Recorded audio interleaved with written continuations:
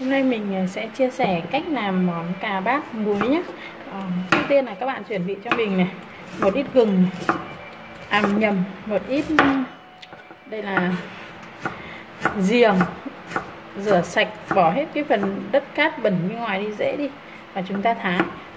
Và ít tỏi Để sau đó chúng ta sẽ muối cùng Thì cà nó sẽ thơm ngon Giòn hơn Rất là nhiều.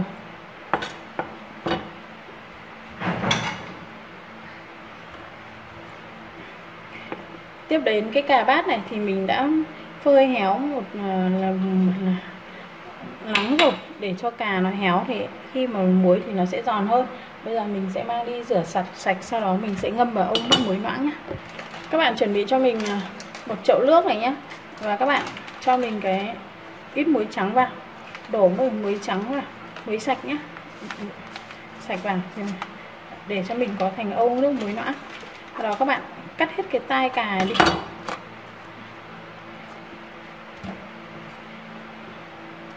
Những cái phần đen đen này các bạn cạo hết đi.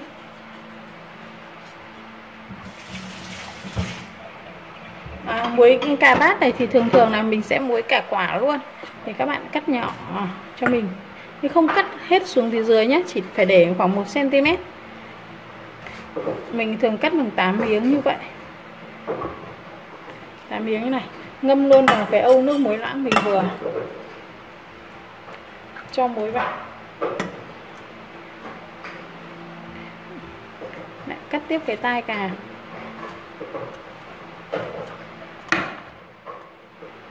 Ngâm như vậy để nó ra nhựa và nó không bị thâm cà ấy.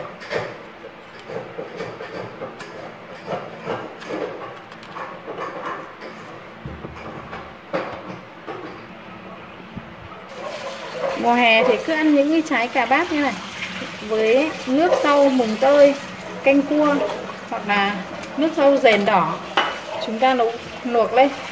Thì rất là ngon ạ. Muối vừng cà bát muối chua thịt à, rang cháy cạnh. Đây là những cái món ăn mùa hè vừa ngon vừa đưa cơm mà lại dễ ăn ấy.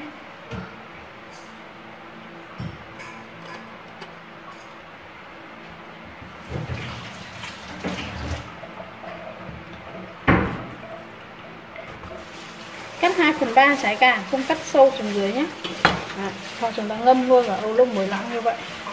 Cứ làm như vậy đến hết nhé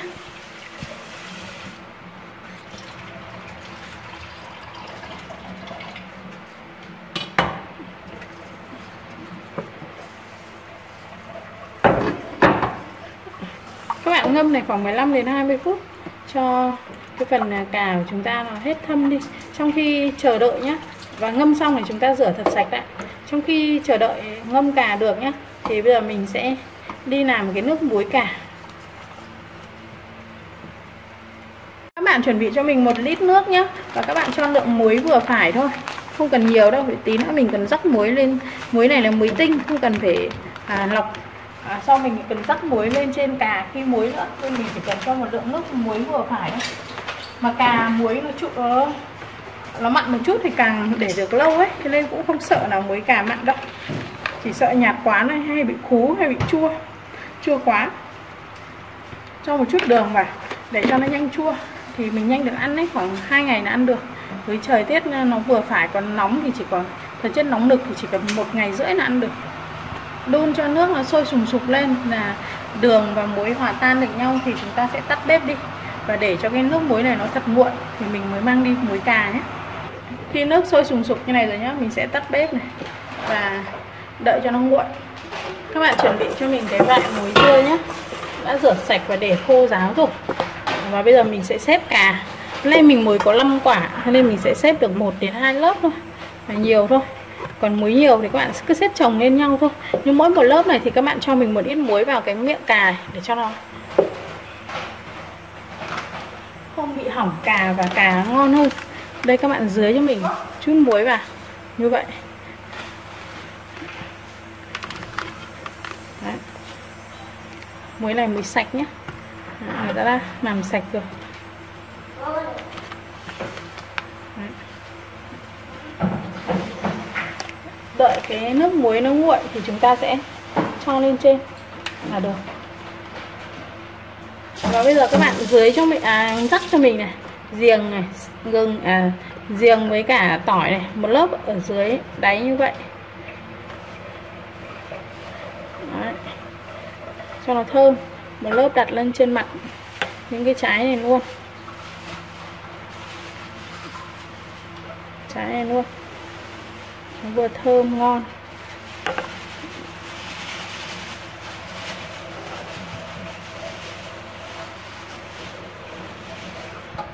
Bây giờ các bạn đổ cái nước muối mình à, muối đường á. Mình vừa mới đun lúc nãy vào nhé đổ xong nó chỉ ngập xâm xấp như vậy thôi. Để mà chúng ta sẽ dùng cái đĩa chúng ta chèn vào và đặt một cái âu nước lên như vậy để cho nó sẽ ép cà xuống.